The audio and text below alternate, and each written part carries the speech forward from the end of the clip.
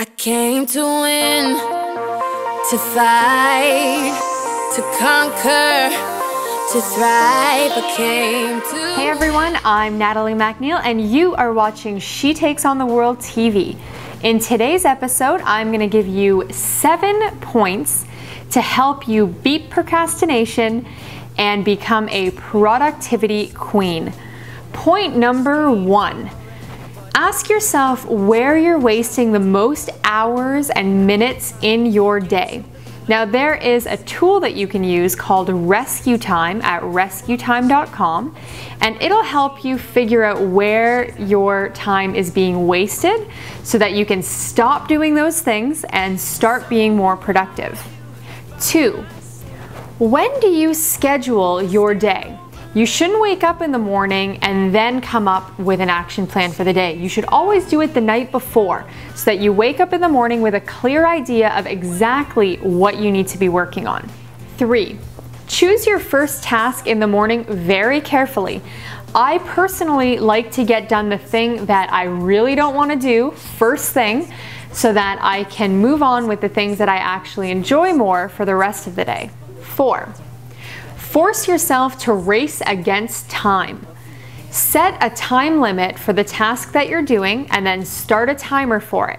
When that timer is up, you better be done that task. And I find that it is a great way to stay on track and stay focused. It's something that I used when I was writing my book for all the chapters and sections. I usually timed it out and said, okay, Natalie, you've got two hours to get this done. And most of the time, I did in fact get it done when I was watching that clock ticking down. And I didn't let anything else distract me from being focused on that one task that needed to be completed. Next, Rely on a team. Everybody needs a team. It doesn't matter if you're a solo entrepreneur or have a company that already has several employees. Everyone needs to be able to delegate tasks that are wasting their time so that they can be more productive and grow their businesses. Six, Prioritize things like family, friends, and exercise so that they never slip by in the course of your day. It's really important that you have that strong support system in place while you're growing a business. And things like your health and exercise are things that you really shouldn't compromise on because if you've got your health, you've got everything that you need. And last, of course, there's an app for that. I use Hootsuite to schedule my social media in batches so that it doesn't take time throughout the day because you know how it is when you get on Twitter, or you get on Pinterest, it's easy to spend more time than you anticipated looking through other people's posts.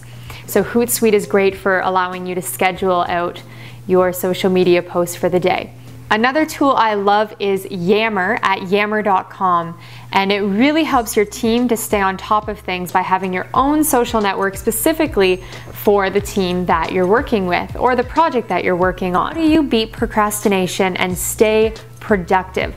Leave a comment below, and we'll see you in the next episode of She Takes on the World TV. Bye for now. And today I want to talk to you about getting rid of cabin fever. That feeling when you're at home, you're working at home, and you just feel trapped, like you need to get out.